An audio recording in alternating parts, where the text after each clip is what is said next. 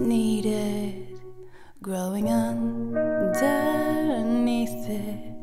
If you keep on hammering on.